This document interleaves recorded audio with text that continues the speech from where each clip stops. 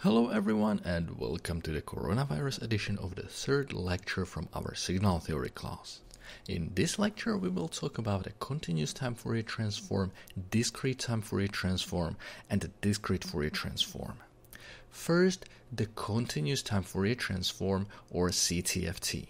This is one of the four types of the Fourier transforms, which is used for the continuous time aperiodic signals. In this lecture, I will show you how to construct that continuous time Fourier transform based on the type of Fourier transform which we had in the previous lecture, that is the Fourier series. Just a reminder, this formula was used to transform the signal in the time domain into its complex spectrum, and this formula was used to transform the complex spectrum back into the time domain.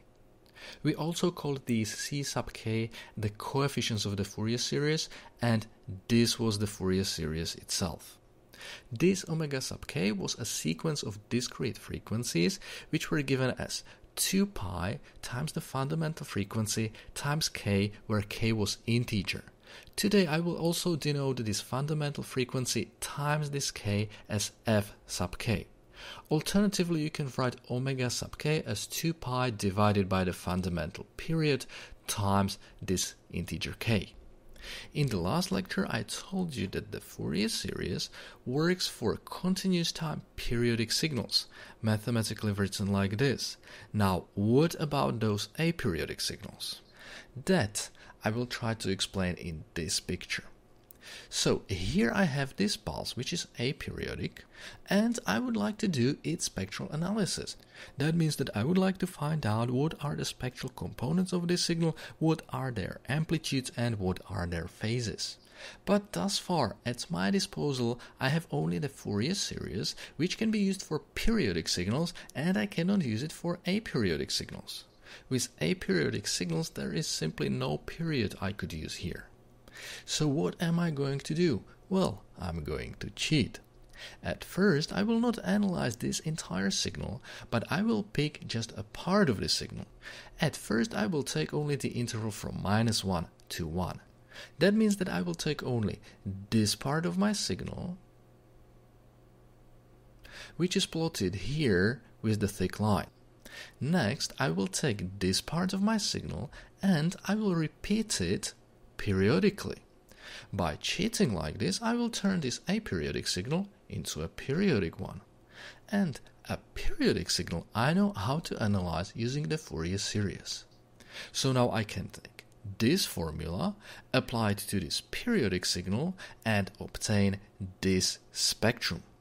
For the sake of simplicity, I'm plotting just the amplitude spectrum, but the complex spectrum can be computed as well.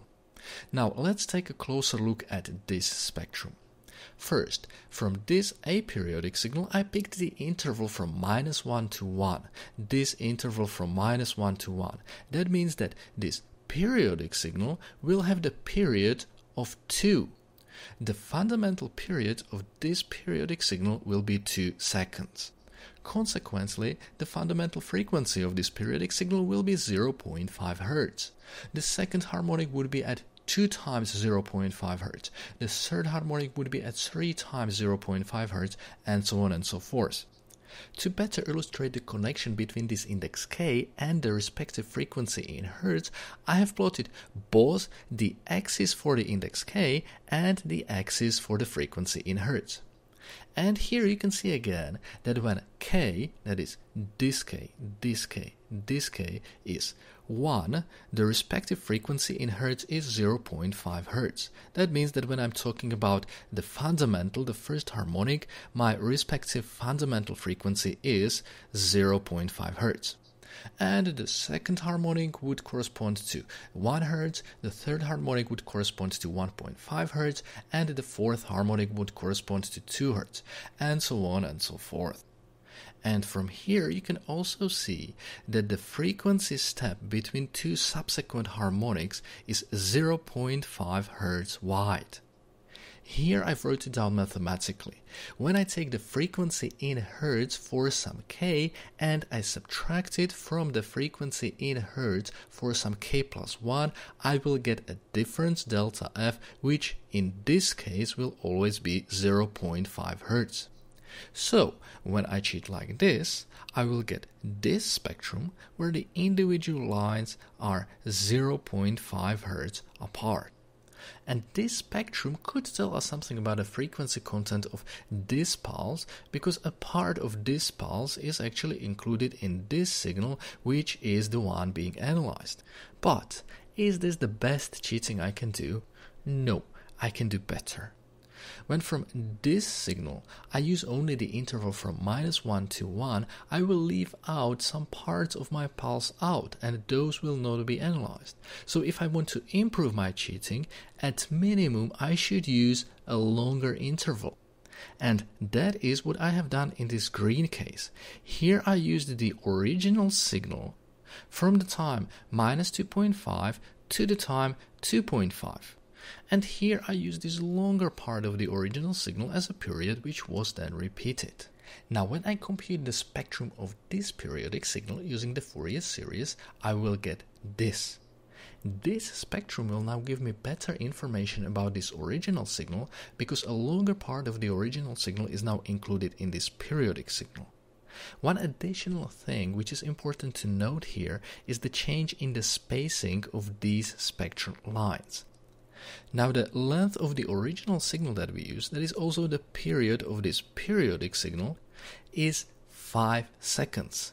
That is the fundamental period of this periodic signal is 5 seconds. That also means that the fundamental frequency of our periodic signal is 1 over 5, which is 0.2 Hz. Consequently, the second harmonic will be at 2 times 0.2 Hz, the third harmonic will be at 3 times 0.2 Hz, and so on and so forth. Check it out at this axis for k and this axis for the frequency in hertz. So this is where k is equal to 1, that is that first harmonic, and that corresponds to 0.2 hertz. This is the second harmonic where k is equal to 2, and that should correspond to 0.4 hertz. This is the third harmonic which should correspond to 0.6 Hz and for example this one that is the fifth harmonic and that corresponds to 1 Hz. So now the spacing between two subsequent lines in Hertz is 0.2 Hz. So when I improve my cheating and I use a longer part of the original signal, my spectrum gets denser. That means when I recompute the indices k to their respective frequencies in Hertz, the frequencies that correspond to these individual lines are closer together, at least in comparison with this red case. Now, what if I cheated even better? What if I included even longer part of this original signal? What if I included the interval from minus 5 seconds to 5 seconds? Well, if I cheated like this, I would get this periodic signal and this spectrum. And you can see that this spectrum is fairly similar to this one, but in this case, those individual spectral lines are even denser. Where does that increased density come from? Well, this interval, which is also the period of this periodic signal, has the length of 10 seconds. Consequently, the fundamental frequency of this periodic signal will be 0.1 Hz. The second harmonic will be at 0.2 Hz. The third harmonic will be at 0.3 Hz. The fourth harmonic will be at 0.4 Hz, and so on and so forth. So, here, this is the first harmonic when k is equal to 1, and when I recompute that to the frequency in Hertz, that will correspond to 0.1 Hz. This is the second harmonic, where k is equal to 2, and the respective frequency in Hertz will be 0.2 Hertz. This is the 10th harmonic, and the respective frequency is 1 Hertz. So in this case, two adjacent spectral lines have frequencies in Hertz which are 0.1 Hertz apart. So overall, you can see that when I improve my cheating and I use a longer part of the original signal, this newly created periodic signal will have longer fundamental period and lower fundamental frequency. The frequency of the first harmonic in hertz will be lower, and because all those higher harmonics have frequencies that are integer multiples of the frequency of the fundamental harmonic, this spectrum will get denser as the period of this periodic signal increases. Now, if I took my cheating to the absolute limit and I would use infinitely long interval from this original signal, That would mean that the period of this newly created periodic signal would also go to infinity. Consequently, the difference between the frequencies of two adjacent spectral lines would go to zero. The frequencies of these spectral lines would get infinitely close together, they would become a continuum, and this discrete spectrum would turn into a continuous one. But when I took an infinite interval of this signal, I essentially took this signal in its entirety. So this is in fact the spectrum of this aperiodic signal. The moral of this story is a trick that allows us to compute the spectrum of an aperiodic signal with the Fourier series. First, I need to take only a finite part of my aperiodic signal, turn it into a periodic signal, and compute its spectrum using the Fourier series. Then I will send the length of that taken part to infinity, which will do two things. First, it will give me the spectrum of my entire aperiodic signal, and second, the spectrum will turn from discrete to continuous. In the next slide, I will show you how we can formalize this using a mathematical formula. So, from the previous slide, we will start with the formula for the coefficients of the Fourier series and we will send the period to infinity. What will happen? Well, first the integration limit will now go from minus infinity to plus infinity. Second, when I send the period to infinity, the frequencies of two adjacent spectral lines will get infinitely close to each other. Also, the angular frequencies of two adjacent spectral lines will get infinitely close to each other. That means that the frequencies of the individual spectral lines, that is, these frequencies, will no longer be discrete.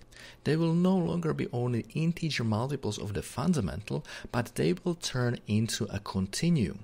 Every real number can be a frequency of a component contained in our aperiodic signal. Consequently, these frequencies omega sub k will turn into this omega, and this omega can be any real number. Last, we will deal with this term 1 over t. If this term was retained here, we would end up dividing this integral by a number that would go to infinity. That would probably diminish the value of this integral to zero, which would be depressive. To avoid that, we will just bluntly leave this term out of the game and we will not use it here anymore. But can I do such things? Can I just leave out something that I do not like? Well, this is not a formal mathematical limit. This is just a description of an idea, and with my idea, I can do whatever I please. By that right, I give you this formula, which we call the continuous time Fourier transform or CTFT. Sometimes this is also referred to as the Fourier transform. The Fourier transform we can also write like this. This is the Fourier transform of my time domain signal. And the result of the Fourier transform is the spectrum, the complex spectrum of my signal. If my signal is denoted with a lowercase x, then typically its spectrum is denoted with an uppercase x. And this spectrum is now a complex function of a real argument, which is the angular frequency, typically denoted as omega. Here I wrote it again. This is the definition of the continuous time Fourier transform. This we call the complex spectrum of our signal x of t. If we take the magnitude of our complex spectrum, we will get the amplitude or the magnitude spectrum, and if we take only the phase of our complex spectrum, we will get what we call the phase spectrum. Now, if I have the complex spectrum of my signal, which is the description of my signal in the spectral domain, and I want to turn this complex spectrum into the signal in the time domain, I need to use the inverse continuous time Fourier transform. The formula is this. I will not derive it, but I will at least explain the meaning using what we had for the Fourier series. So for the Fourier series, we took those complex exponentials at the frequencies of the individual frequency components, and we multiplied these complex exponentials by their complex amplitude. And these complex amplitudes we also called the coefficients of the Fourier series or the complex spectrum of our signal. Last, we summed everything together and that gave us our signal in the time domain.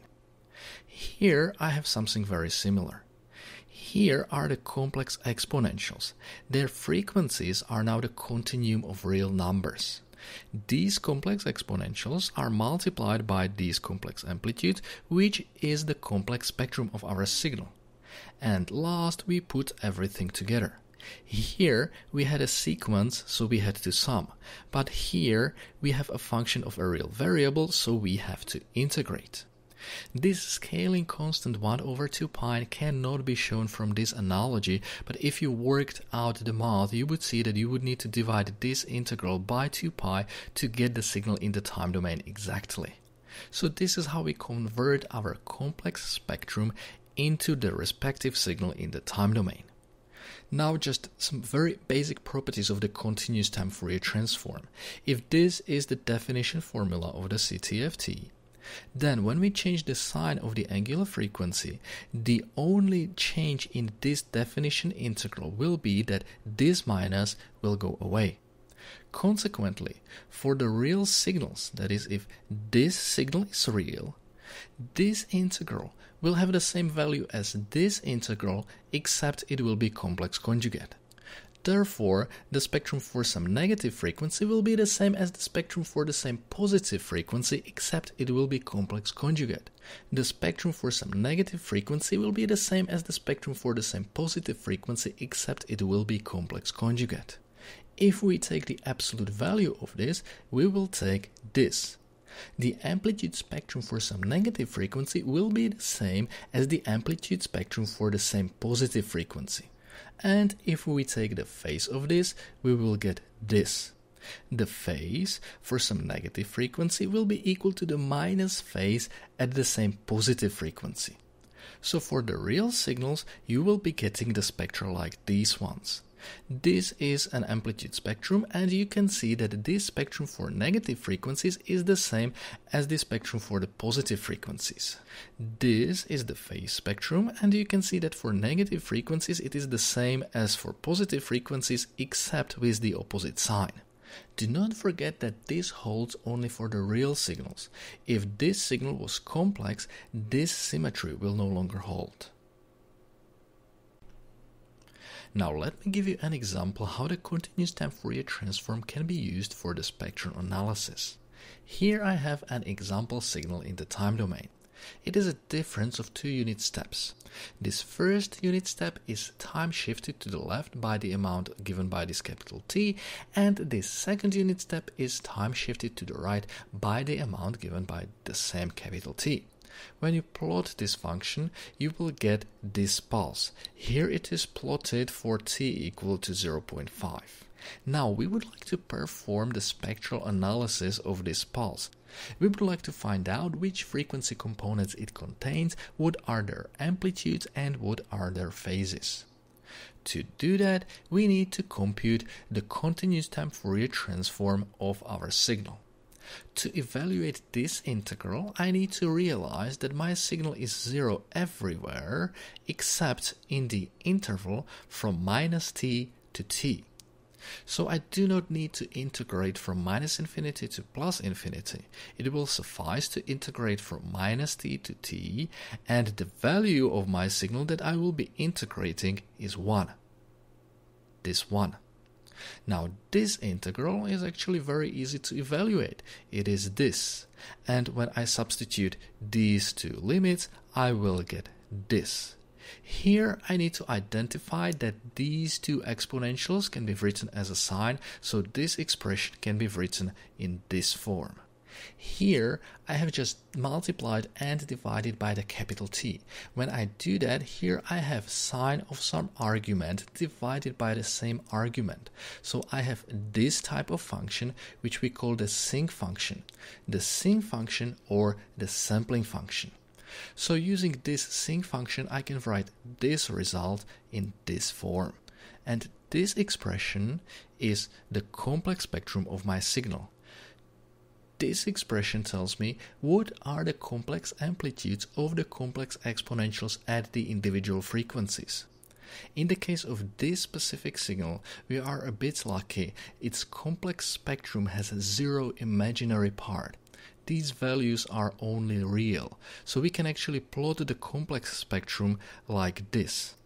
Typically, you cannot do this because the complex spectrum is, well, complex. But for this specific signal, we can plot the complex spectrum easily, which will help us to see what is the magnitude spectrum and what is the phase spectrum. So the magnitude spectrum is just the absolute value of the complex spectrum. The phase spectrum will be zero in this interval where the complex spectrum is real positive and in this interval it will be pi or alternatively it could be minus pi which is the phase of a real negative number. And in this fashion this phase will alternate between 0 and pi for positive and negative parts of this sinc function so if you want to write the amplitude spectrum mathematically, you will take the complex spectrum, you will take the absolute value of that complex spectrum, and that will give you the amplitude spectrum. The phase spectrum is just the phase of this complex spectrum. It is kind of easy to analyze in this picture, but it is somewhat more difficult to write mathematically. First, forget about this gray part and this gray part. Now let's first deal with this interval where the sinc function is positive. This first zero will happen when the argument of the sinc function is equal to pi, that is where this sine is equal to zero. So this zero will happen when this argument is equal to pi. That will happen when omega is equal to pi over capital T. When omega is equal to pi over capital T, when I multiply it by capital T, all that will be left here is pi, and that will be the point when the sinc function goes to zero. In this plot, you can see that it happens for omega equal to 2 pi, which happens when capital T is equal to 0.5. But in general, this interval happens between 0 and pi over capital T. Now, in the sinc function, the periods where the sinc function is positive will happen with the period of 2 pi, that is the period of this sine. In this sinc function, where the argument is multiplied by the capital T, the period will be 2 pi divided by t. So in this case, where the capital T is 0.5, that period will be 4 pi. But in general, for this sinc function, those periods will repeat with period 2 pi over t. So when I add integer multiples of 2 pi over t to this inequality both on the right hand side and on the left hand side, this inequality will define all the intervals where the complex spectrum is positive. And that works when omega is positive. If I want to express the same thing for negative omegas, I will just include this absolute value here. With this absolute value, this inequality will do the same work for, for example, 3 pi and minus 3 pi. So this inequality is how I can define all the intervals where my complex spectrum is positive.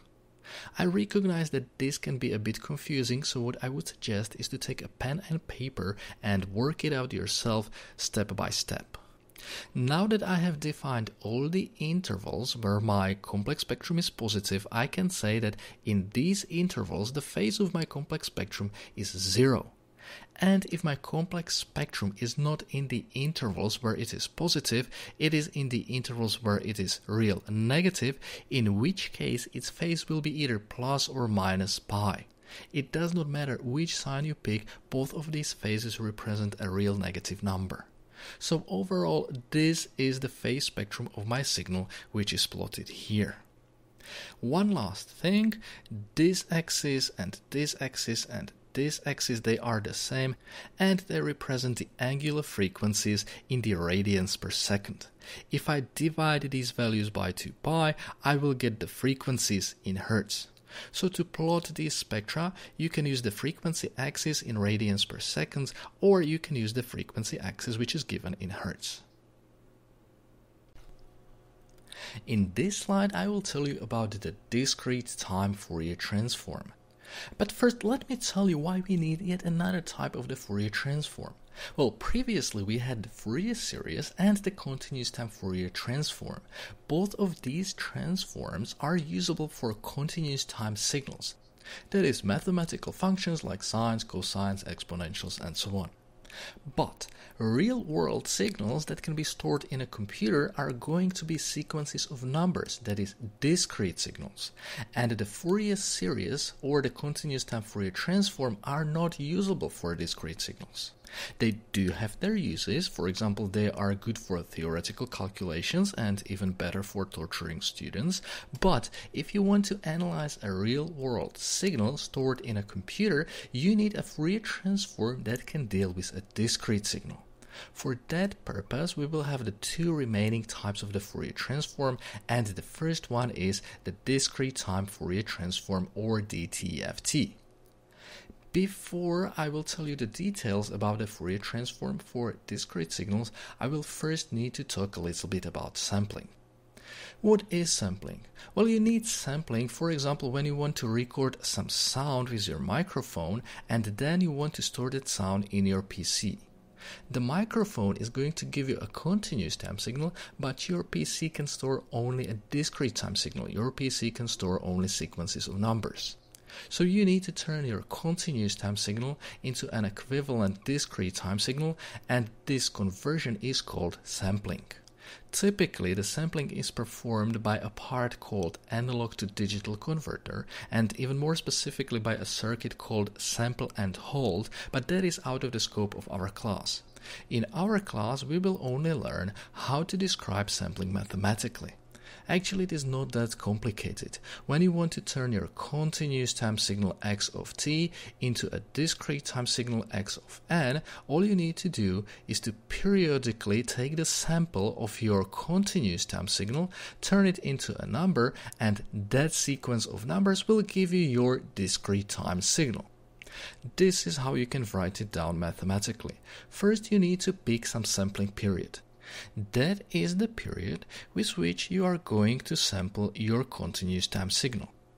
Now, the integer multiples of the sampling period are going to give you the times at which you sample your continuous time signal. That is, this time, this time, this time, this time, this time, and so on and so forth. Now you will take your continuous time signal and evaluate it only at these times that will give you these values. Those are the values indicated by these dots. And for the sake of simplicity, we will denote these values as x of n, which will be our discrete signal here indicated in green. A little bit of nomenclature. As I told you, capital T sub s is called the sampling period, and 1 over the sampling period is called the sampling frequency, and we typically denote it as f sub s. Now that we have formalized sampling, I can show you how you can take the continuous time Fourier transform and turn it into a Fourier transform that can be used for discrete time signals.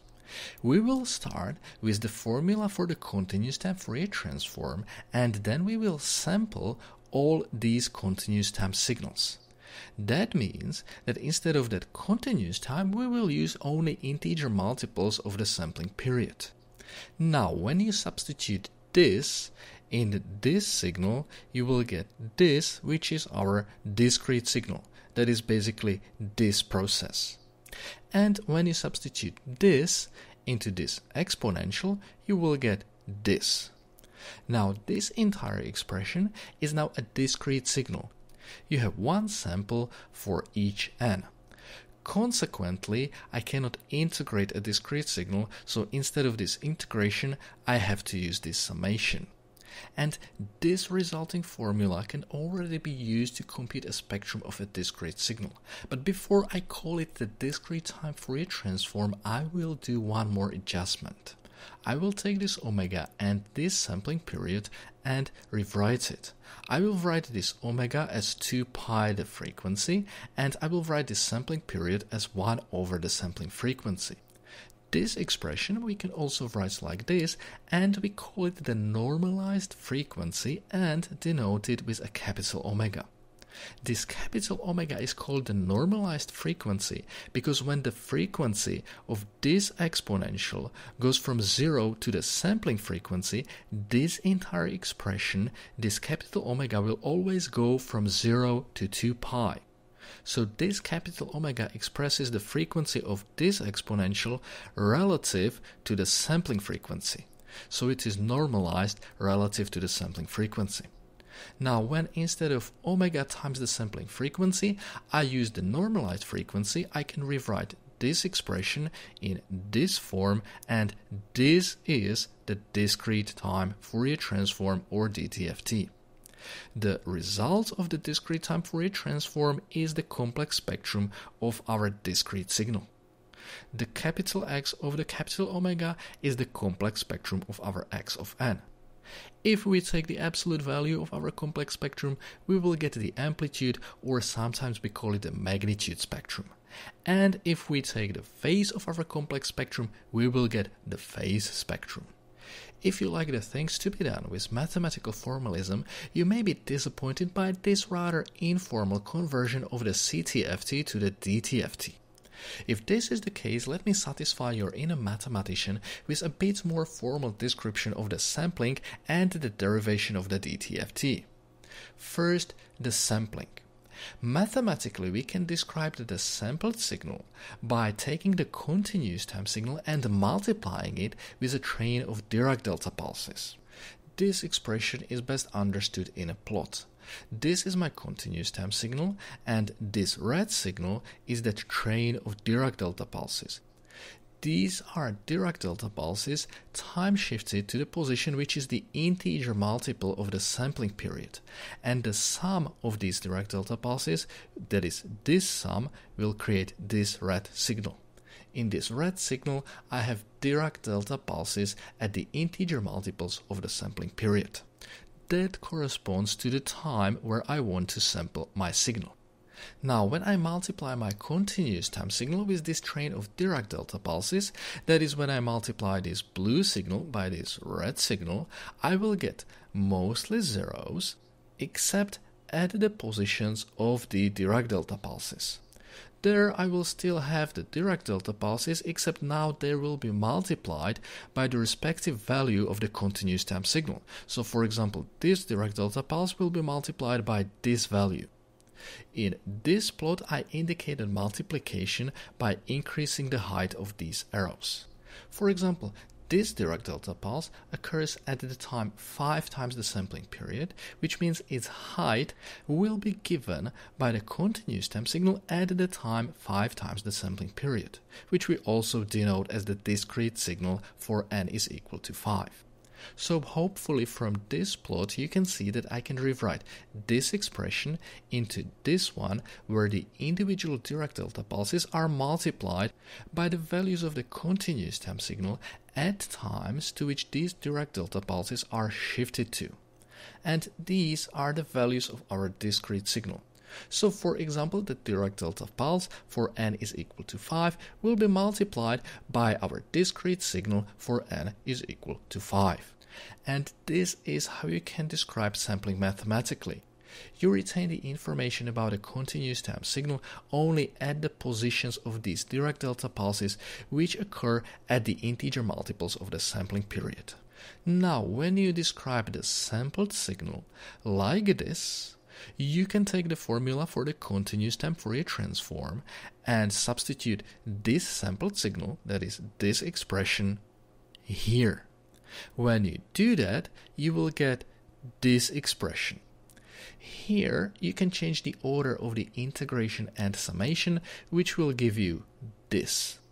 In this expression, note that this signal is not dependent on time, so for this integral it is a constant, therefore we can take it and pull it out of the integral. When we do that, we will get this. In this expression, we will evaluate this integral using the sampling property of this Dirac delta pulse. This Dirac delta pulse will sample this exponential at time equal to n times the sampling period. So the value of this entire integral will be this exponential at this time equal to n times the sampling period. It will be this. Consequently, you can rewrite this entire expression like this. And here, when you denote omega times the sampling period as the normalized frequency capital omega, you will get this expression, which is the discrete time Fourier transform. So this is how you can derive the discrete time Fourier transform with more mathematical formality. Before we move on and we start talking about the properties of the discrete time Fourier transform, let me illustrate the properties of the DTFT on a simple example. In this example, we want to use the DTFT to compute the spectrum of this signal.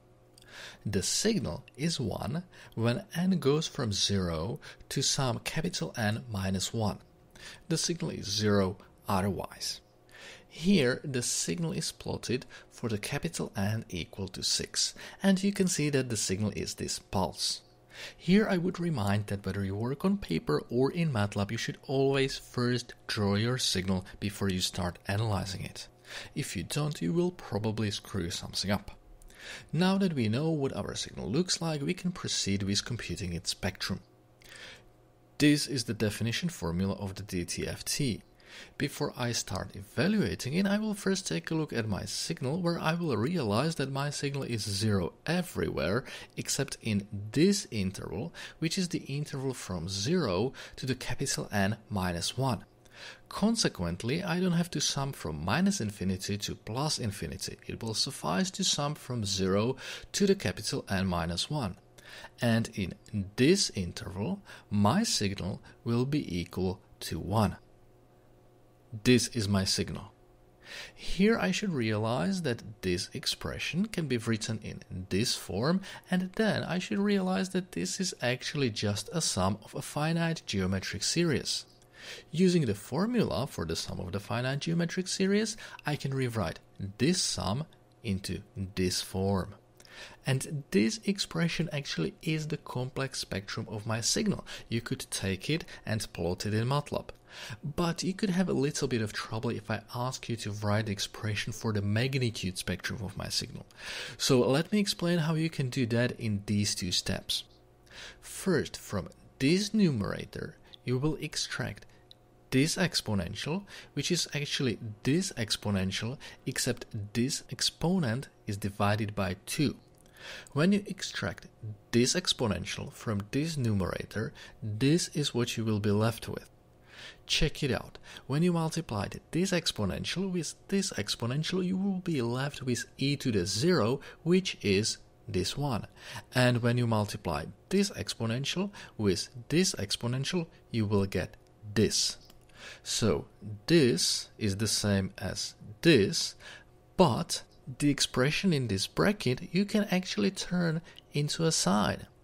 And in the denominator, you can do essentially the same thing.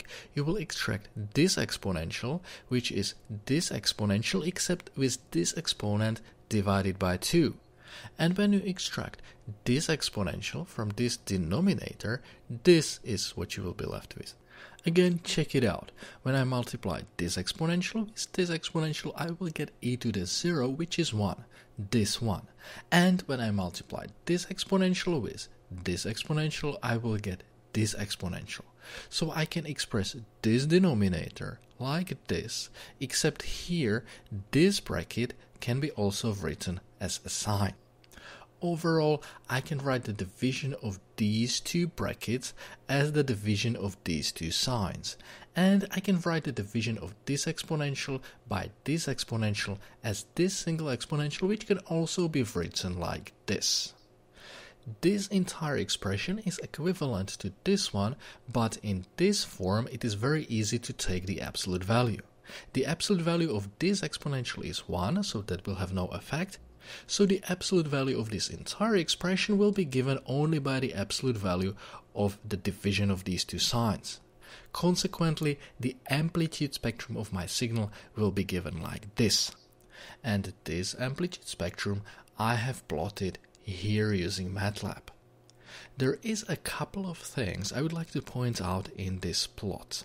First, this horizontal axis. On this horizontal axis, I have the values of the normalized frequency in radians, and that is as it should be for the discrete time Fourier transform.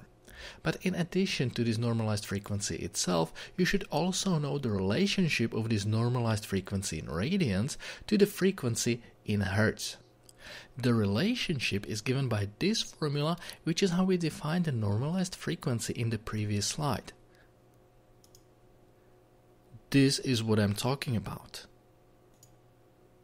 Now, using this formula, you can transform the frequency in hertz into the normalized frequency in radians. So for example, if the frequency in hertz is equal to the sampling frequency, the normalized frequency in radians will be 2 pi. If the frequency in hertz is equal to the sampling frequency, the normalized frequency in radians will be 2 pi.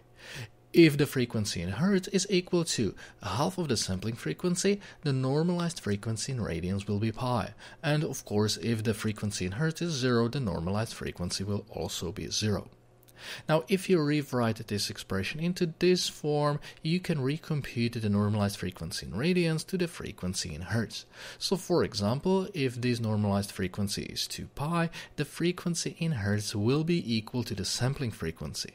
If the normalized frequency is 2 pi, the frequency in hertz will be equal to the sampling frequency. And if the normalized frequency is pi, the frequency in hertz will be equal to the half of the sampling frequency. Do not forget about this relationship between the normalized frequency and the frequency in Hertz. Normally, the spectra will be presented only with this axis where you have the values of the normalized frequency, and you will be expected to be automatically convert these normalized frequencies into the frequencies in Hertz. Now, the second thing I would like to point out in this spectrum is that this spectrum is actually periodic. You can see it kind of indicated in this plot. And if you want to see it more formally, you can examine this formula, which is constructed only from the functions which are periodic and they also have a common period. And this is not just some random occurrence for this signal, this is actually a freaking property of the spectra of discrete signals. Here I have it examined in general. Let's say I want to examine what the discrete time Fourier spectrum looks like when I add an integer multiple of 2 pi to my normalized frequency. This is actually quite easy to do. I take the definition formula for the discrete time Fourier transform and to the normalized frequency I will add that integer multiple of 2 pi. Next, I need to realize that I can break this exponential into the product of these two exponentials. And I also need to realize that the phase of this complex number is an integer multiple of 2 pi. So this complex number, this complex exponential is equal to 1. Consequently, this entire expression is equal to this, and I can write this expression in this form. And this expression is nothing else but the definition of the discrete time Fourier transform for the normalized frequency omega. So from here I can see that when I shift the normalized frequency by an integer multiple of 2 pi, it will have no effect on the value of the complex spectrum. That means that the DTFT spectrum is periodic with the period of 2 pi. This is how you can write it mathematically. Also, for the real signals, we have the same properties that we have seen for the continuous time Fourier transform and for the Fourier series. The complex spectrum for some negative normalized frequency capital omega will be the same as the complex spectrum for the same positive normalized frequency capital omega, except it will be complex conjugate. Consequently, the amplitude spectrum for some negative normalized frequency will be the same as the amplitude spectrum for the same positive normalized frequency. And the phase spectrum for some negative normalized frequency will be the same as the negative phase spectrum for the same positive normalized frequency. On top of these symmetries, you can actually include this periodicity to obtain some additional symmetries. When I get this symmetry and write it in the opposite order, I will get this. Now, using the periodicity of my spectrum, I can add 2 pi to the argument of this expression. That will give me this. I will help you to visualize this in a second on an example of an amplitude spectrum. For that amplitude spectrum, I will get this relationship. This you can get either from here, which you will first write in the opposite order, and then using this periodicity you will get 2 pi to this argument, which will give you this. Alternatively, you can just take the absolute value of this expression, which will also give you this. Now from here you can read that the amplitude spectrum at some normalized frequency omega will be the same as the amplitude spectrum at some frequency 2 pi minus that omega. So for example, the amplitude spectrum at some frequency pi over 2 will be the same as the amplitude spectrum at some frequency 2 pi minus pi over 2. This value will be the same as this value or more general, this part of the spectrum will be the mirror image of this part of the spectrum, with the axis of symmetry being this vertical line going through the normalized frequency of pi. Another way how to think about this symmetry is this. Because of this property, you will have the symmetry with respect to this vertical line going through the zero. And because of this periodicity, this part of the spectrum must repeat here. That also means that this part of the spectrum will repeat here. Consequently, you will have the symmetry with respect to this vertical line. So the DT-FT spectrum has a lot of symmetries in it, and it's a good idea to keep all of these symmetries in mind. If you forget about them, you can actually interpret the spectrum incorrectly, which I will show you during the exercises. Now for the sake of completeness I will comment this line that is actually the combination of this line which I have written here in the opposite order and this periodicity which I used to add 2 pi to this argument which gave me this and from here I can read that the phase at some normalized frequency omega will be the negative phase at the frequency 2 pi minus that normalized frequency omega. Here I do not have the phase spectrum, but if I had the phase for normalized frequency, for example, pi over 2, would be the same but negative as for the frequency 2 pi minus pi over 2. Overall, keep in mind that the discrete time Fourier transform is for signals that are discrete and aperiodic, and the spectrum of the discrete time Fourier transform is continuous and periodic. At this point, all of these symmetries may appear like a bunch of useless stuff. But in the exercise, I will try to illustrate how you need to be aware of these symmetries so that you can properly interpret a spectrum of a discrete signal. The last thing I want to show you in this slide is the inverse discrete time Fourier transform. Without much mathematical derivation, I will give you the formula which is this. This formula is actually quite similar to the formula for the inverse continuous time Fourier transform that has this form.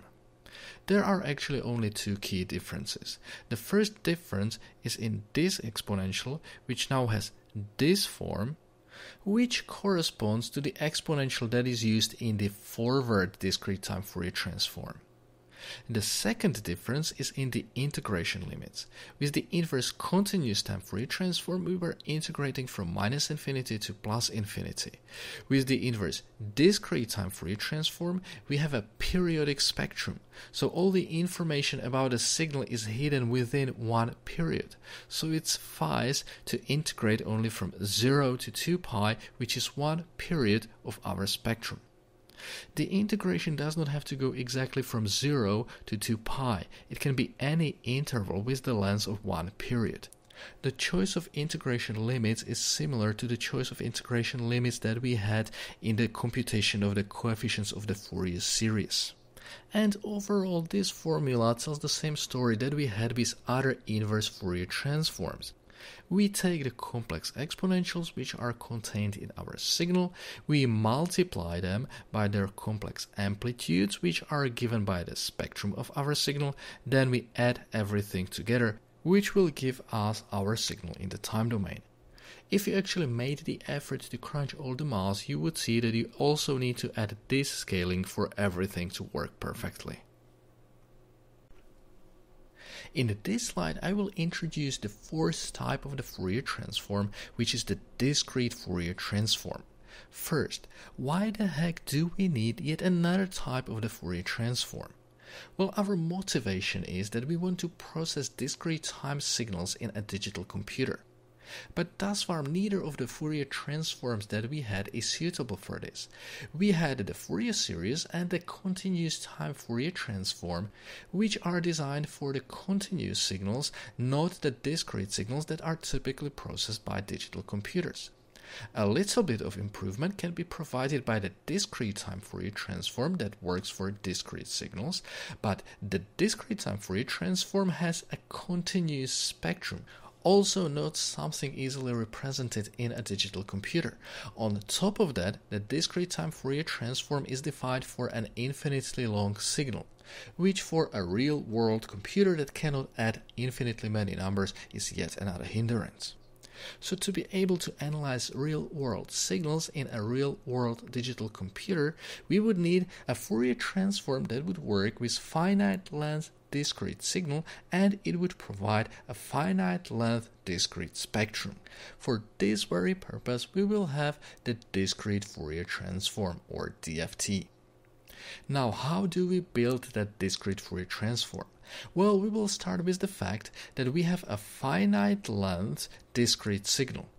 I'm talking about this blue signal, which I will denote as x of n, and in general I will assume that it has capital N samples. Note that if the first index of this blue signal is 0 and the signal has capital N samples, then the last index of this blue signal is n minus 1. Between 0 and n minus 1 I have n samples. Now the idea how to analyze this finite length discrete signal is to recycle the type of Fourier transform that we already know has a discrete spectrum.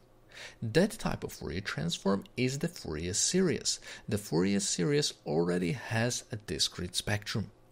But the Fourier series is built for continuous time periodic signals, so we will need to make some adjustments. First, we need a periodic signal, so we will need to turn this finite length signal into a periodic one. Well, that is quite easy. We will just take this finite length signal as one period and that we will repeat. This gray signal, which is created by the repetition of this blue signal, we will denote as x sub p and we will call it the periodic extension of this blue signal x. Mathematically, you can define the periodic extension of a finite length signal x of n in this form. This mod denotes the modulo operation, but if you do not know what that is, just stick with this picture and you will be fine. Now that we have turned our finite length signal into its periodic extension, we have a periodic signal, so we can use the Fourier series, but we still need to adjust it for discrete signals. This can be done in the same way as we did it when we turned the continuous time Fourier transform into the discrete time Fourier transform. We used sampling.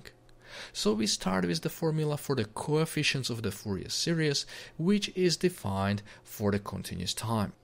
And now we will sample the time in the integer multiples of the sampling period. When we sample our time like this, we should also express that the period of our signals in seconds will be given as the length of our signals in samples times the sampling period. When I want to compute how long this one period takes in seconds, I need to take the number of samples and multiply that by the sampling period. Now I will take this and substitute that here.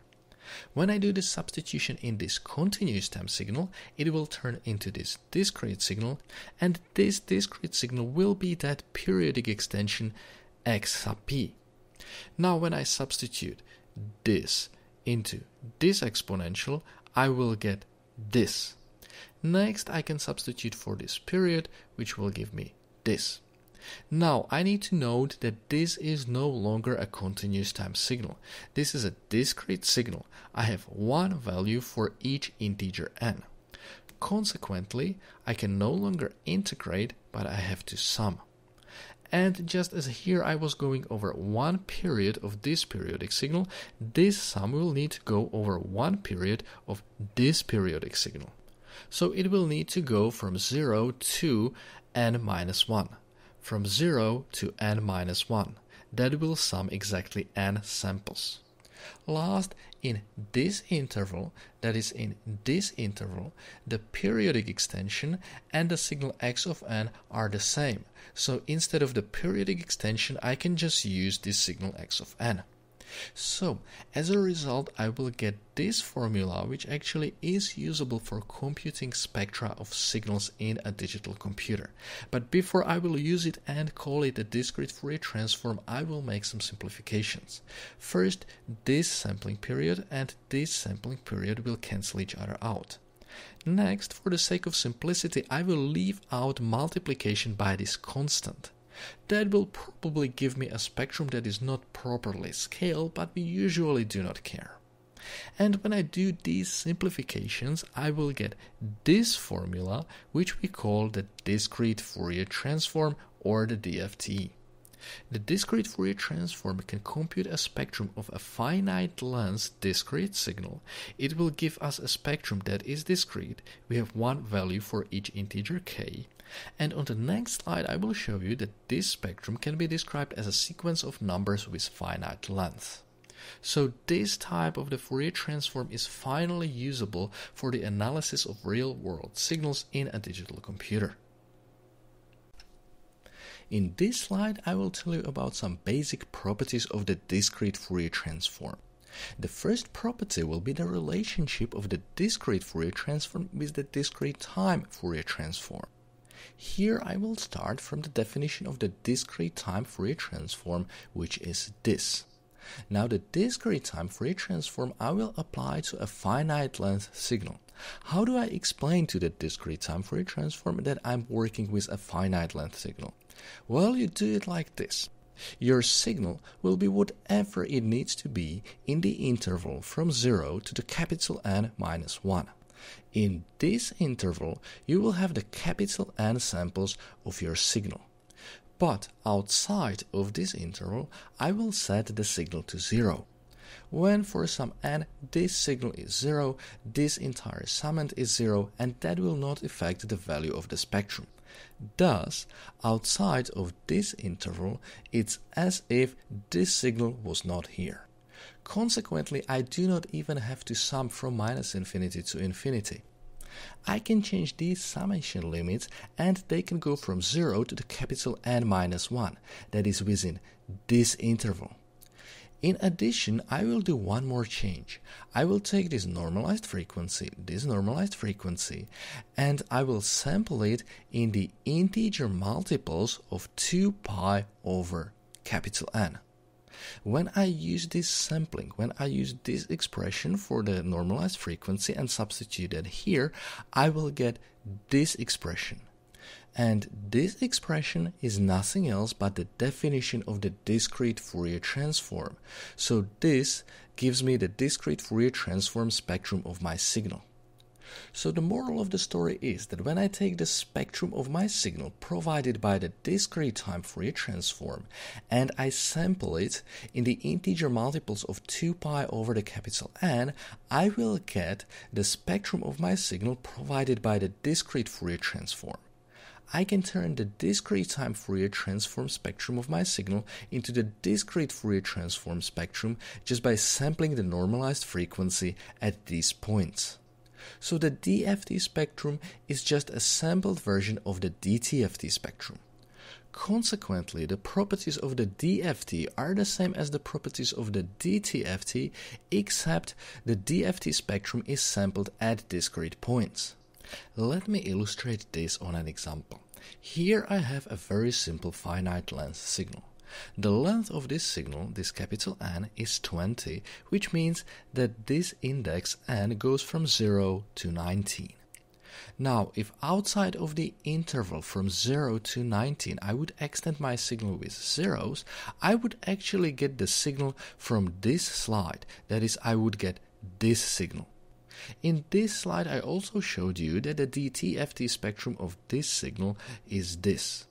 So now I will take this spectrum and I will plot it in this plot with this gray line.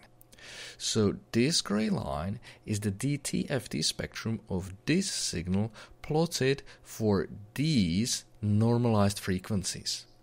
Now, these blue lines in this plot are actually the DFT spectrum of this signal computed by evaluating this sum in MATLAB.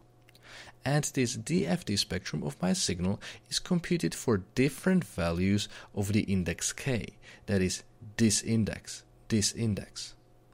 Now, there is a couple of things that you should note in this plot. First, the DFT spectrum, that is these discrete blue lines, are really just the samples of the DTFT spectrum, that is this continuous gray line. And the normalized frequency is being sampled in the integer multiples of 2 pi over the capital N. So, when this k goes from 0 to the capital N, the omega will go from 0 to 2 pi. Check it out here. In this case, the capital N, the length of my signal is 20.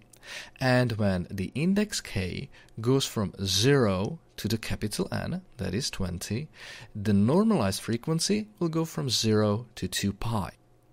And as I told you in the previous slide, the DTFT spectrum, that is this gray line, is periodic with the period of 2 pi. Consequently, the DFT spectrum will have this period, which is the capital N. The DFT spectrum is periodic with the period of capital N. So this is another property of the DFT spectrum. This spectrum is periodic with the period of capital N. In addition, this also means that I have n samples within one period of the DFT spectrum. And this is very convenient because the DFT spectrum is periodic. I can describe it by knowing a single period. And this period is just a discrete signal with finite length, which is something we can easily work with in a digital computer. So for example, in MATLAB, if you compute the DFT transform of your signal, the MATLAB will give you this first period of the DFT spectrum. That is these first n samples of the DFT spectrum. That is the indices k going from 0 to the capital N minus 1. Also note that when my signal has the length of capital N, a single period of the DFT spectrum also has n samples. So when we work with a single period of the DFT spectrum, it will have the same length as is the length of our signal. Now, you need to know what is the relationship between these indices k, the normalized frequency in radians, and the frequency in hertz. I have already mentioned the relationship between these indices k and the normalized frequency omega, that is given by this sampling. And I told you that when the indices k go from 0 to the capital N, the normalized frequency goes from 0 to 2 pi. The relationship between the normalized frequency omega in radians and the frequency in hertz we know from the previous slide. When the normalized frequency goes from 0 to 2 pi, the frequency in hertz goes from 0 to the sampling frequency. And when we know the relationship between k and omega and omega and f, it is easy to find out the relationship between the indices k and the frequencies in hertz. From this frequency axis and this frequency axis, you can read that when the index k goes from 0 to the capital N, the frequency in hertz goes from 0 to the sampling frequency. Here you have the relationship between all the indices and frequencies laid out mathematically. This first formula gives you the relationship between the frequency in hertz and the normalized frequency. This comes from the definition of the normalized frequency. When you rewrite this formula into this form, you can compute the frequency in hertz from the normalized frequency. This formula allows you to convert the indices into the normalized frequency. And when you rewrite this formula into this form, you can go in the opposite direction. You can recompute the normalized frequency into the indices k. Now, when you take this formula and substitute it into this formula, you will get this, which you can use to recompute the indices k into the frequency in hertz. And when you rewrite this formula into this form, you can go in the opposite direction. You can take a frequency in hertz and transform it into the value of this index k. A word of caution about this formula and this formula. Both these formulas can give you a fractional value of this index k. But this index k, that is this index k can only be an integer. So if you use a formula like this in MATLAB, before you use this k, you need to round it. You do not really need to remember all of these formulas. What I would suggest is to remember these three frequency axes and their relationships, and when you are able to draw them, you are able to derive all of these formulas using direct proportionality. So this was the relationship between these indices k, the normalized frequency omega, and the frequency in hertz. Now let's take a look at some additional properties of the discrete Fourier transform. Because the spectrum of the discrete Fourier transform is just a sampled version of the spectrum of the discrete time Fourier transform, for the real signals, the discrete Fourier transform has very similar properties to the properties of the discrete time Fourier transform. The DFT spectrum for some negative index k is the same as the DFT spectrum for the same positive index k but complex conjugate.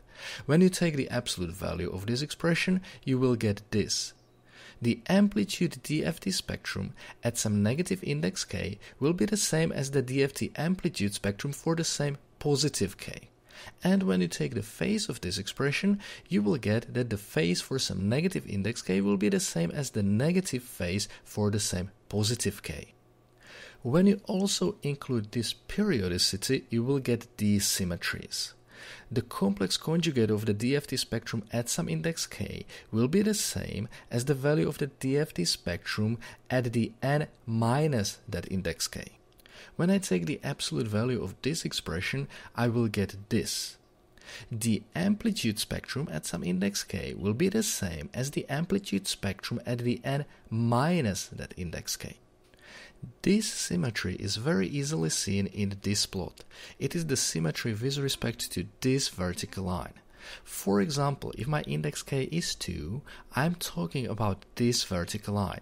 And according to this expression, when my k is 2, the amplitude spectrum will be the same at the position n minus 2. So in this case, where my capital N is 20, I'm talking about the index 20 minus 2, which is 18, and that is this spectral line. And you can see that this spectral line is the same as this spectral line. So in the DFT spectrum, we also have this symmetry with respect to this vertical line. Now, when I take the phase of this expression, I will get this the phase spectrum for some index k will be the same as the negative phase spectrum for n minus that index k. I do not have the phase spectrum plotted here, but if I had, the phase of this spectral line would be the same as the negative phase of this spectral line. And remember, all of these properties hold only for real signals. If the analyzed signals are complex, all of these symmetries can be broken. And last, I would summarize that the discrete Fourier transform is built for discrete finite length signals. Alternatively, we can consider that one finite length signal to be a period of a periodic signal, in which case we would say that discrete Fourier transform works on periodic signals. The spectrum of the discrete Fourier transform is discrete and periodic. If we work with a single period of the periodic spectrum, we tend to, perhaps slightly incorrectly, say that that spectrum has finite length. Overall, the discrete Fourier transform allows us to work with signals and spectra that are discrete with finite length. That makes the discrete Fourier transform suitable for the analysis of discrete signals in a digital computer. In this slide, I will give you one additional piece of information about the discrete Fourier transform. Thus far, we have talked about the forward transform that will take the signal in the time domain and turn it into the spectrum in the spectral domain. I still need to give you the formula for the inverse discrete Fourier transform. Again, without much mathematical derivation, the formula is this. A few notes. This formula is fairly similar to other inverse Fourier transform formulas that we had before. We take the exponentials, the individual frequency components that constitute our signals, we multiply them by their complex amplitudes, which are given by the spectrum of the signal, and then we sum everything together. In this case, the spectrum is discrete, so we have to sum, and the spectrum is periodic, so we will sum over one period of the spectrum. If you crunch the mass, you would see that you also need to divide by the length of the signal to get the proper result in the time domain. And the result in the time domain is not just that finite length signal, it is actually that periodic extension of that finite length signal. But if you limit the values of the indices n to the interval from 0 to the capital N minus 1, you will get that finite length signal in the time domain.